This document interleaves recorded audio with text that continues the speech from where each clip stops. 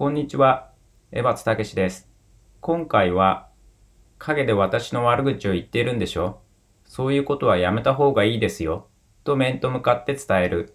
というテーマでお話ししていきたいと思います。人間はそれぞれ違う存在です。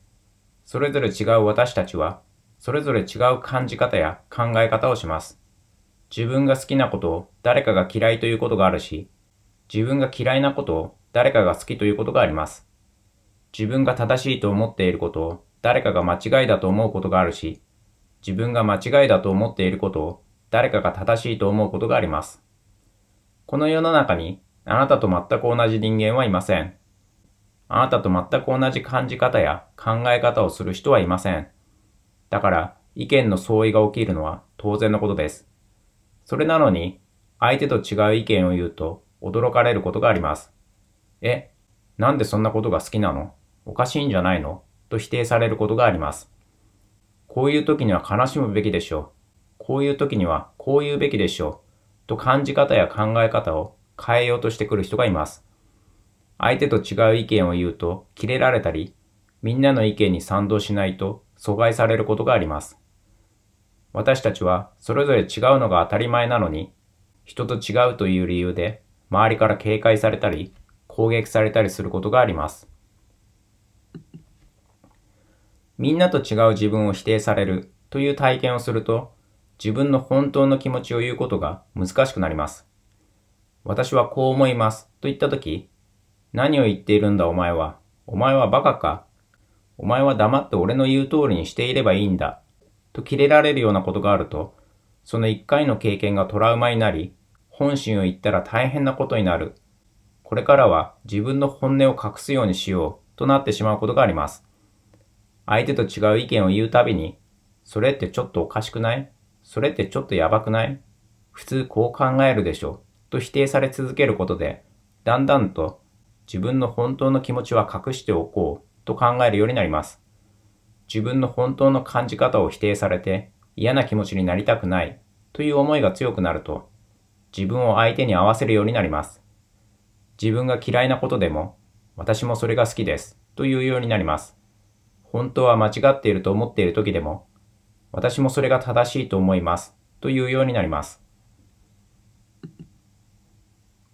相手に合わせるために自分の本当の考え方を抑え込むことで、だんだんとストレスが溜まってきます。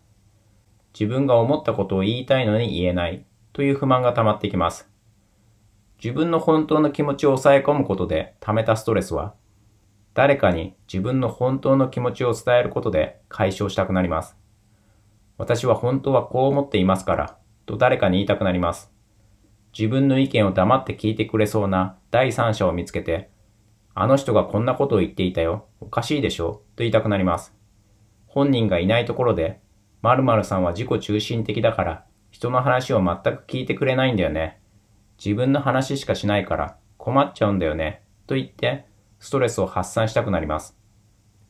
当人のいないところで悪口を言って不満を解消する。つまり、陰口を叩くようになるということです。自分の本心を隠して相手に合わせると、嘘をついた時と同じような影響を自分に与えることになります。自分が嫌いと感じたのに、相手に好きと伝えるのは実質的には嘘をついているのと同じことになります。怒られたくないから仕方がない、嫌われたくないからしょうがないと思っていても、相手に合わせることで嘘をついた時と同じ経験値を得ることになります。私たちは、この人は本心を言っていないな、この人は何かを隠しているな、この人には裏があるな、と感じる相手を信用することはできません。それと同じで、自分は本心を言っていない、自分は何かを隠している、自分には裏があるとなることで、自分のことを信用できなくなります。自分の本当の感じ方を抑圧する、相手の考え方に合わせるという体験をするたびに、嘘をつく自分を信用することができないという思いが強くなります。相手に合わせれば合わせるほど、私はこれが好きです。私はこれが嫌いです。という自分を信用できなくなっていく自分の感覚を信用できなくなっていく。つまり、自分に自信を感じられなくなっていきます。そして自信を失った自分を癒すために、あの人はちょっとおかしいわ、と陰口を叩くようになります。相手の前ではいい顔をして、陰で悪口を言うという体験を積み重ねることで、表と裏で態度がコロコロと変わる自分をどんどん信用できなくなっていきます。陰口を言えば言うほど自信が失われていきます。怒られたらどうしよう、嫌われたらどうしようという恐れから自分の言いたいことが言えなくなるのは自然なことです。すぐに切れる人や人格否定をしてくる人に対しては怖くて本心が言えなくなるのは仕方がないことです。しかし自分の本当の感じ方を言えなくて溜めたストレスを陰口を叩くことで解消するのはお勧めできません。あなたは陰口を叩くことで一時的に自分を楽にすることができます。しかし、陰口を叩くことで裏表のある自分を嫌いになり、どんどん自信が失われていきます。言いたいことが言えなくて溜まった不満を解消するためには、言いたいことを言うしかありません。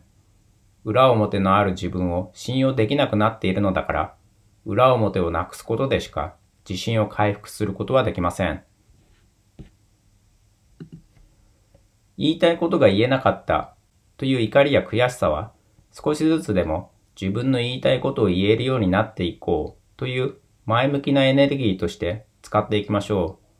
怖いけど本当の気持ちを言ってみた。という体験をコツコツと積み重ねることでそんな勇気のある自分をだんだんと誇らしく感じられるようになっていきます。怒られたらどうしよう、嫌われたらどうしよう。と不安を感じながらも本心を伝える。という体験をコツコツと積み重ねることで、裏表がなくなっていく自分を信用できるようになってきます。自分の本当の考え方を言うと、馬鹿にされたり、怒鳴られたり、阻害されることがあるかもしれません。しかし、こいつはちょっと変わっているけど、嘘をつく人間ではないという信用は高まっていきます。私は本心を言うように努めているので、空気が読めないやつだ、めんどくさいやつだ、と敬遠されることがあります。しかし、エバトは嘘をつかないからな、と信用されているので、普段私のことを嫌っている人から相談されることがよくあります。ということで、嫌われても尊敬されたり信頼されることはあります。他人にも自分にも嘘をつかないことで、他人からも自分からも信用されるようになります。陰口を言うのは一時的な痛み止めにしかなりません。陰口を叩くことで他人からも自分からも信頼されなくなります。なので、言いたいことが言えなくて嫌な気持ちになった時は、よし、少しずつでも言いたいことを言えるようになっていこうと考えることで根本的な解決を目指していってほしいと思います。今回も最後までご視聴していただきありがとうございます。もしこのチャンネルが役に立つと思ったらいろいろな人に勧めてもらえると嬉しいです。チャンネル登録もお願いします。ではまた次回の動画でお会いしましょう。エバスタキシでした。